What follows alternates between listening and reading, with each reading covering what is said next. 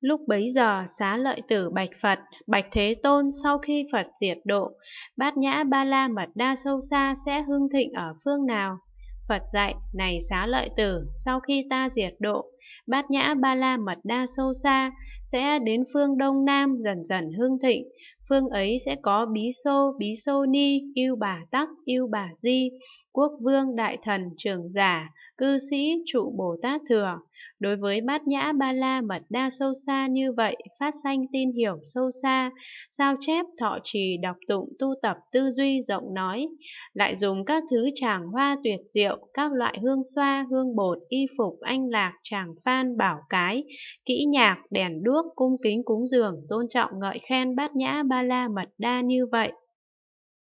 Do những thiện căn thủ thắng như thế, cuối cùng họ chẳng đọa vào đường hiểm ác, thường sanh cõi trời người, được hưởng giàu sang an lạc. Do thế lực này, sáu phép ba la mật đa tăng thêm lợi ích khiến mau viên mãn. Nhân đó lại thường cung kính cúng dường, tôn trọng ngợi khen chư Phật Thế Tôn. Về sau tùy theo sự thích hợp, nương pháp ba thừa, lần lượt tu tập hạnh xuất ly. Này xá lợi tử, sau khi ta diệt độ, bát nhã ba la mật đa sâu xa, từ phương Đông Nam chuyển đến phương Nam, sẽ dần dần hương thịnh, ở phương đó sẽ có bí xô, bí xô ni, yêu bà tắc, yêu bà di, quốc vương, đại thần, trưởng giả, cư sĩ, trụ Bồ Tát thừa. Đối với bát nhã ba la mật đa sâu xa như vậy,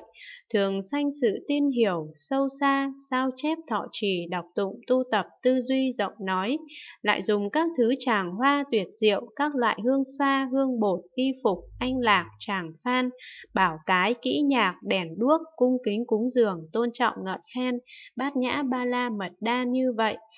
Do các thiện căn thủ thắng ấy nên cuối cùng họ chẳng đọa vào các đường hiểm ác, thường sanh vào cõi trời, người, hưởng thọ giàu sang an lạc, Do thế lực ấy, sáu phép ba la mật đa tăng thêm lợi ích, khiến mau được viên mãn. Nhân đó lại thường cung kính cúng dường, tôn trọng ngợi khen chư Phật Thế Tôn.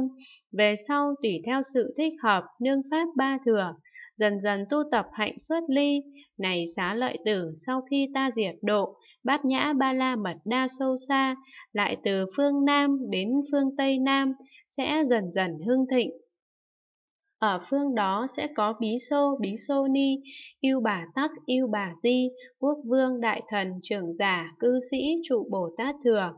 Đối với bát nhã ba la mật đa sâu xa như vậy, thường phát sanh sự tin hiểu sâu xa, sao chép thọ trì, đọc tụng, tu tập, tư duy, rộng nói, lại dùng các thứ tràng hoa tuyệt diệu, các loại hương xoa, hương bột, y phục, anh lạc, tràng phan, bảo cái, kỹ nhạc, đèn đuốc, cung kính cúng dường, tôn trọng ngợi khen, bát nhã ba la mật đa như vậy.